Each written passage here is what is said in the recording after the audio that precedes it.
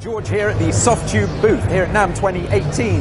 I am showing off Console 1 in all its glory and particularly excited to talk about the big new feature on the table.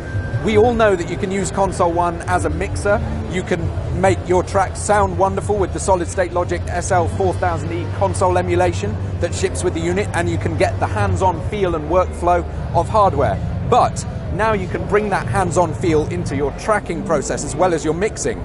So, if you are an owner of a UA Apollo interface and you use Universal Audio products, you can now use something called Apollo Central Mode. If I press Shift and Mode, it opens up a brand new mode of Console 1, Apollo Central, and that allows you to control the Universal Audio console, which looks like this and is now under the spell of Console 1. Just look at that, it's very exciting. It also allows you to load up your own vocal strips. For example, if you want to use a Manley Voxbox as a preamp, you can do that. You can bring it up in Apollo Central mode here and start tweaking, or you can even, this is very cool, press Shift and that button there and you get the plugin GUI open, which you can then tweak in real time. You try doing that with a mouse, three things at once.